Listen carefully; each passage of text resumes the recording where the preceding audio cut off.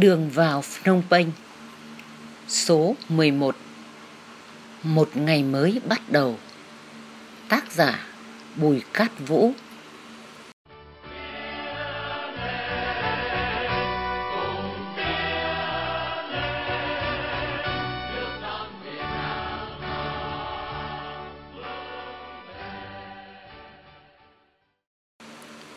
Ngày 8 tháng 1 năm 1979 con gà cổ đâu đây đập cánh, cất tiếng gáy rõng rạc.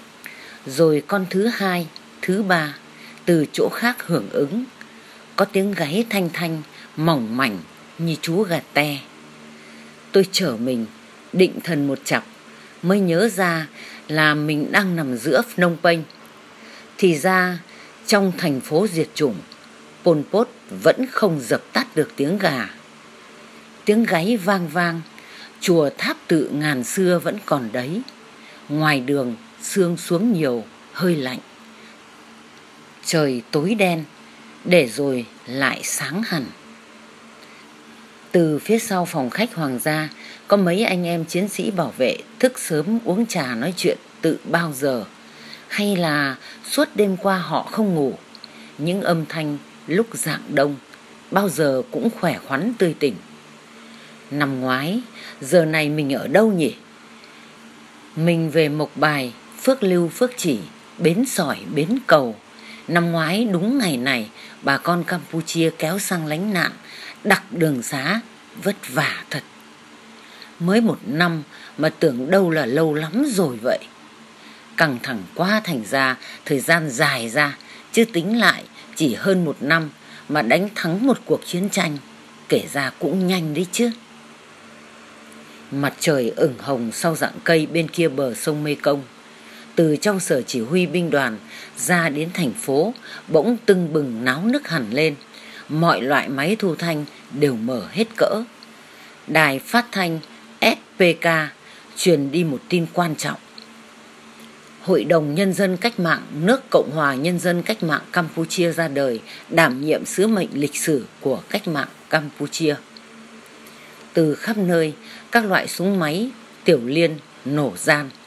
Bắt đầu từ hướng đài độc lập đến Phnom Penh, rồi truyền lan trên đại lộ Monion, Norodom trên đường bờ sông. Trên các lầu cao bay ra tua tủa tín hiệu xanh, đỏ, trắng, vàng.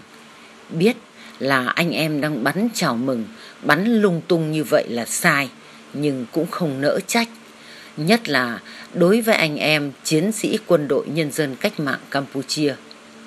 Vào lúc đúng 7 giờ sáng, tại phòng khiêu vũ nhà khách Hoàng gia khai mạc một cuộc họp liên tịch mở rộng.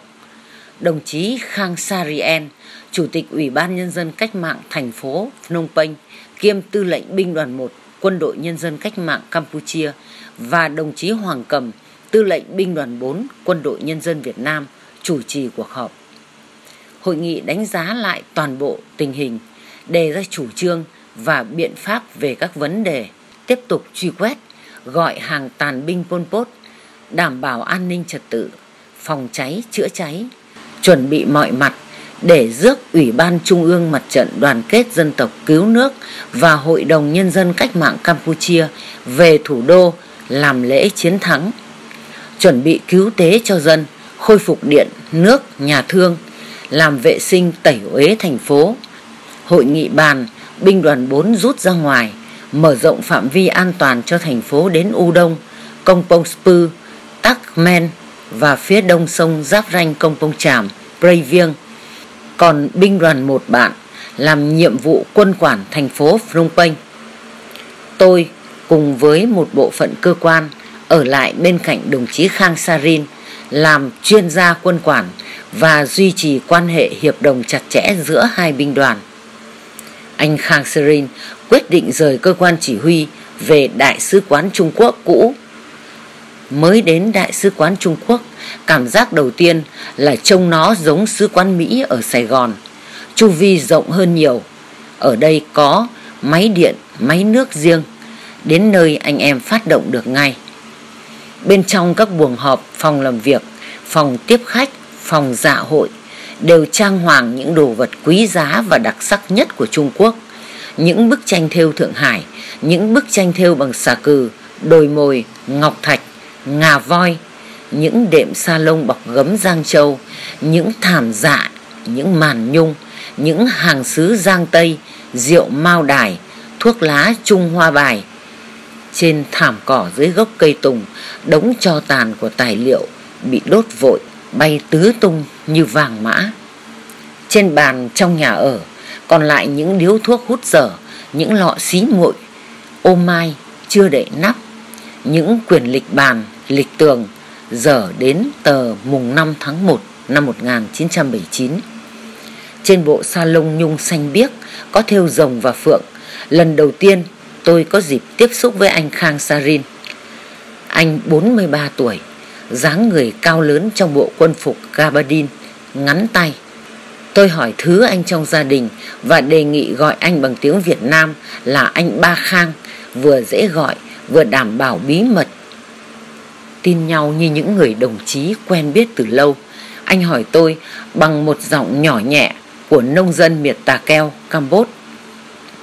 Anh có biết anh hai sĩ không? Phải anh sĩ cao không? Phải, người cao, nước da trắng. Hồi năm 1953, tôi đi bộ đội thuộc tiểu đoàn 40 Isra. Tôi quen biết anh hai sĩ, chỉ huy tiểu đoàn quân tình nguyện ở Campuchia. Với nụ cười hiền lành, anh tiếp. Hồi đó chỉ huy là bầu ra nên gan lì lắm hơn bây giờ. Rồi như nhớ đến công việc, anh nói, anh ba à, công việc mới quá, lớn quá, mà công việc này chúng tôi chưa quen làm, địch thì còn đông và thâm hiểm lắm. Tôi nói, xin anh cứ yên tâm, chúng tôi coi công việc ở đây như chính là việc của bản thân mình vậy. Tôi hỏi anh, biết Phnom Penh nhiều không? Anh cười, bảo là hồi nhỏ nhà nghèo ở tận Công Pông Trạch, Campuchia nên không thể nào đến Phnom Penh được. Lớn lên làm cách mạng thì chuyên môn ở rừng. Nhắc đến tình cảnh khổ cực của nhân dân Campuchia dưới chế độ Pol Pot Ieng Siri, anh dưng dưng. Năm 1972, khi thấy rõ bộ mặt phản bội của Pol Pot Ieng Siri, tả mốc, tôi ly khai, rút vào bí mật, xây dựng lực lượng cách mạng chân chính, chống lại chúng mình đã biết rõ bộ mặt khát máu của nó rồi Nhưng khi vào Phnom Penh Thật là ngoài tưởng tượng anh ạ rồi anh nhắc đến những cán bộ quen thuộc trong kháng chiến chống Mỹ Như Sóc Khâm, Keo Vây, Khêm, Sóc Khên Là những đồng chí chỉ huy quân sự tỉnh Campos. Anh bảo Những cán bộ trung thành với nhân dân Có đạo đức cách mạng Đều bị nó giết hết. Phải chi giờ này các anh còn sống để thấy ngày thắng lợi của nhân dân Campuchia và chung lưng nhau đi vận động nhân dân tận diệt bọn Pol Pot, bảo vệ thành quả cách mạng, xây dựng lại đất nước. Bây giờ thì cán bộ cũ chỉ đếm trên đầu ngón tay. Nghĩ sao anh tiếp. Tuy vậy, nhưng tôi vững tin ở nhân dân tôi rất cách mạng. Cán bộ chúng tôi rất kiên cường. Rồi anh hỏi tôi, anh ba biết đồng chí xoay keo không? Tôi chưa kịp đáp, anh nói tiếp. Đồng chí xoay keo, tổng tham mưu trưởng của chúng tôi là một đồng chí rất kiên quyết. Đồng chí lãnh đạo một bộ phận ly khai ở vùng Đông Bắc, chắp hai bàn tay lên bộ đùi rất khỏe. Anh nói tiếp. Còn các đồng chí Sãi Bu Thon và Ti Panh nữa. Từ năm 1977, khi đã thấy rõ tập đoàn Pol Pot Ieng Seri phản bội cách mạng, làm tay sai cho bọn bành trướng Bắc Kinh, ám hại đồng chí bí thư tỉnh ủy Cô Công. Các anh đã lãnh đạo một bộ phận quân đội và nhân dân vào trong vùng núi Cô Công chống lại Pol Pot. Nghe anh Sang Khanh kể, tôi lại nghĩ đến đồng chí ủy viên Bộ Chính trị.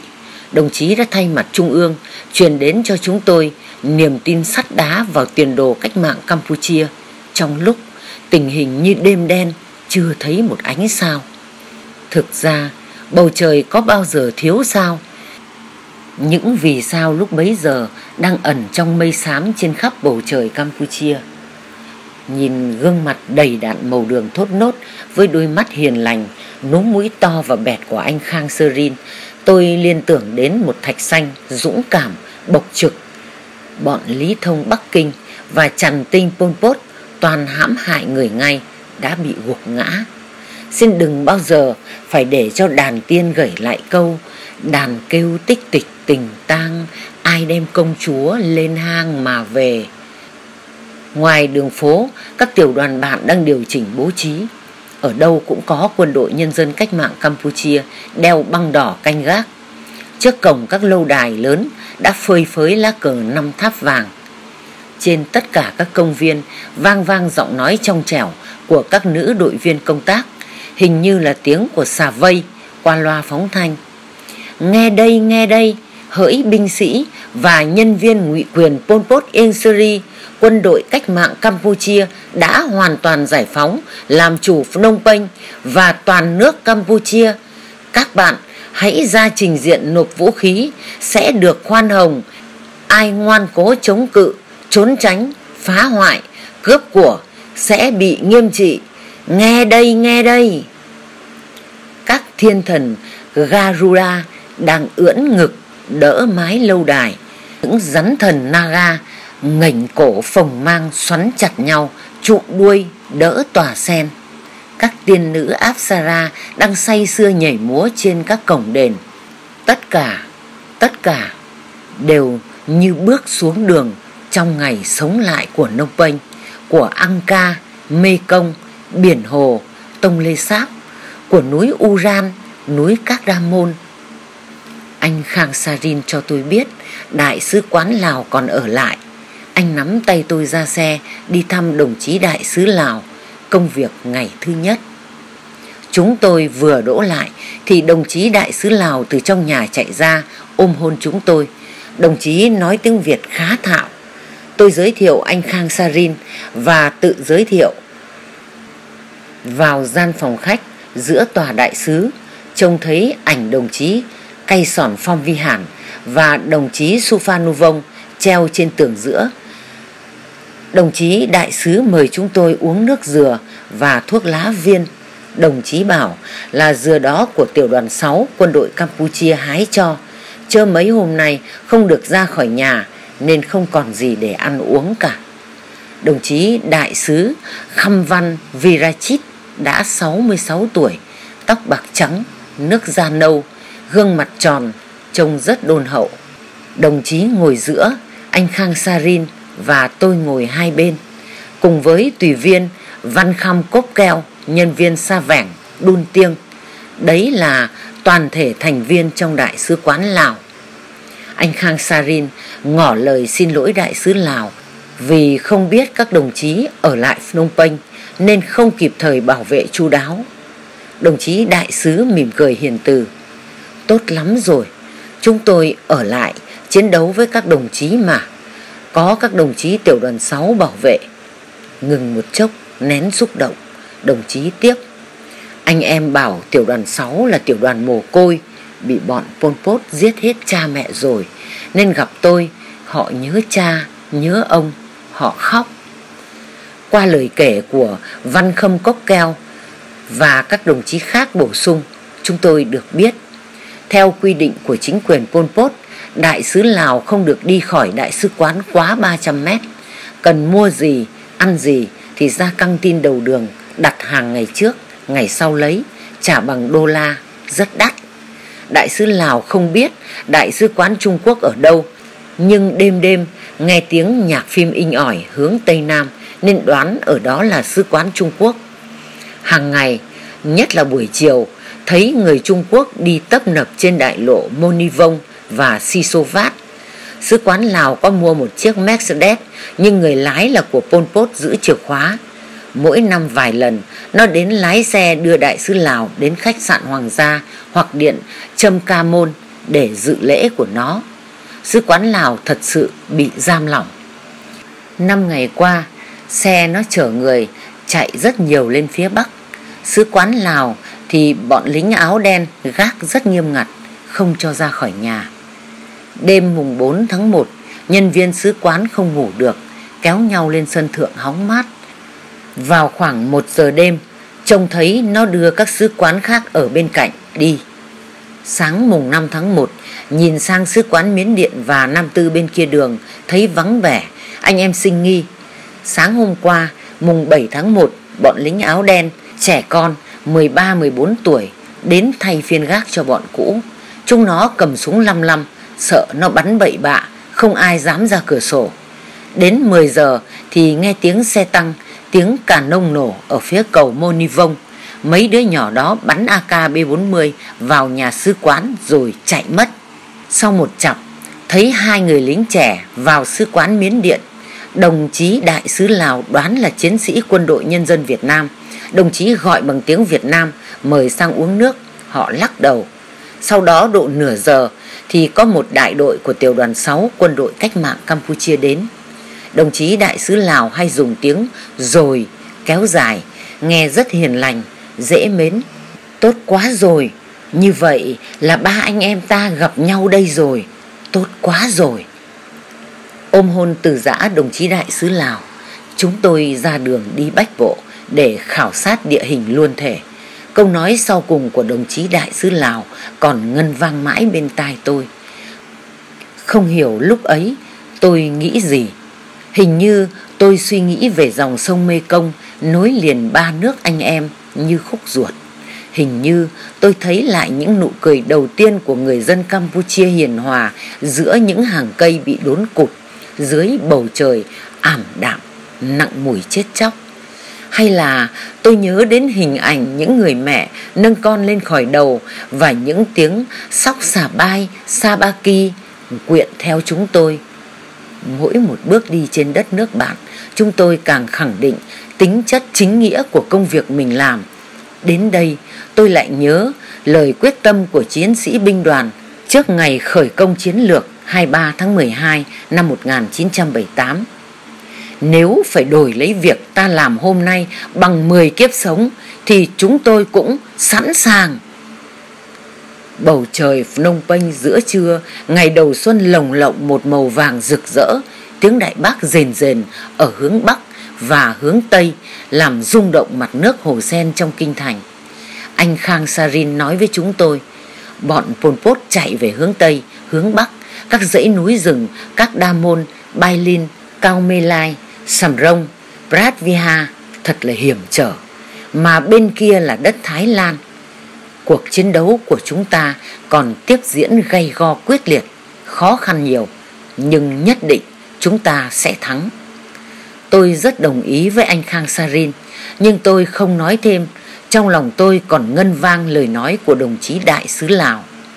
Tốt quá rồi, như vậy là ba anh em chúng ta đã gặp nhau đây rồi. Phnom Penh, mùa xuân 1979 Uyên Uyên Việt Nam trân trọng cảm ơn quý vị và các bạn đã quan tâm theo dõi. Xin kính chào và hẹn gặp lại. em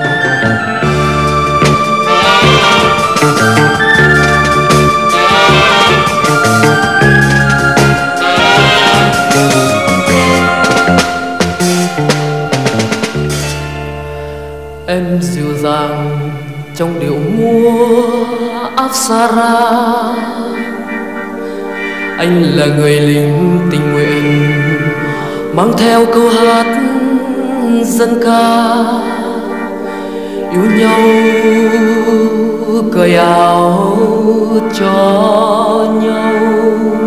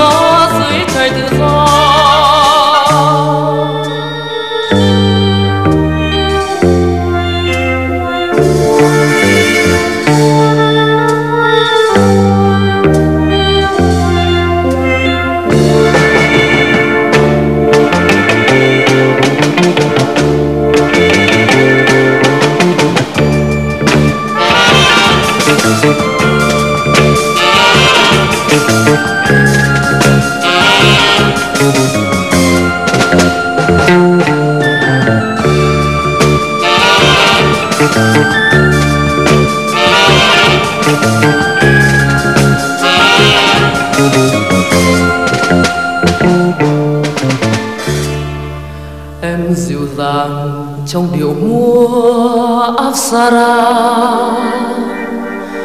anh là người lính tình nguyện, mang theo câu hát dân ca. Yêu nhau, cởi áo cho nhau.